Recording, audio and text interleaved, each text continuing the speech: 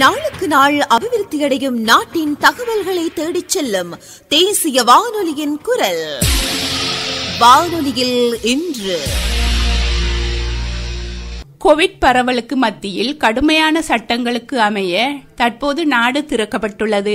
நாட்டில் தடுப்பூசி ஏற்றும் வேலை திட்டம் சிறந்த முறையில் முன்னெடுக்கப்பட்டு வருகின்றது. அநேகமான நாடுகள் கோவிட் பரவலின் ஆரம்ப கால பகுதியில் தமது நாட்டை மூடியிருந்தாலும் தற்போது அந்த நாடுகள் திறக்கப்பட்டு சுகாதார கட்டுப்பாடுகளை முறையாக பின்பற்றி தமது செயற்பாடுகளை முன்னெடுத்து வருகின்றன. தற்போது நாம் செய்ய வேண்டியது சீர்குலைந்துள்ள துறைகளை மீண்டும் கட்டியெழுப்புவதாகும். அவ்வாறான செயற்பாடுகளை முன்னெடுக்கும் போது எமது செயல்திறன் மற்றும் வலுவான ஒற்றுமை ஆகியவை நாட்டை மீள கட்டியெழுப்பும் வேகத்தை தீர்மானிக்கின்றது. இவ்வாறான நிலைமையின் போது எமக்கு வழங்கப்பட்ட பணிகளை முறையாக மேற்கொள்வது அவசியமாகும். மன வலிமையை அதிகரித்துக் கொள்வது அவசியமாகும். வைரஸ் பரவல் ஓரளவு கட்டுப்பாட்டிற்குள் கொண்டு வரப்பட்ட நிலையிலேயே எமது நாடு மீண்டும் திறக்கப்பட்டது. அரச மற்றும் தனியார் பிரிவுகளைப் போலவே நாளாந்த சம்பளத்தை பெறும் தொழிலாளர்களும் கடமையாற்றுவது அவசியமாகும். பெரியோர் என்ற வகையில் நாம் பொறுப்புடன் செயற்படுவதுடன் நாட்டின் பிள்ளைகளின் கல்வியை தடையின்றி முன்னெடுத்துச் செல்வது அவசியமாகும். எதிர்கால சந்ததியினரை உடல் ரீதியாகவும் மன ரீதியாகவும் வலுப்படுத்துவது எமது கடமையாகும். சிறுவர்களின் பாடசாலை செல்லும் கனவை நனவாக்குவதற்கு அரசாங்கம் பாரிய முயற்சியில் ஈடுபட்டு வருகின்றது. இருப்பினும் எமது கடமையை நாம் முறையாக செயற்படுத்துவது கட்டாயமாகும். முறையான சுகாதார வழிமுறைகளை பின்பற்றி நாட்டின் பொருளாதாரத்தை வலுப்படுத்துவதற்காக நாம் ஒன்றிணைந்து செயற்பட்டு நாட்டை பாதுகாப்போம். நாட்டை அபிவிருத்தி பாதையை நோக்கி கொண்டு செல்வோம்.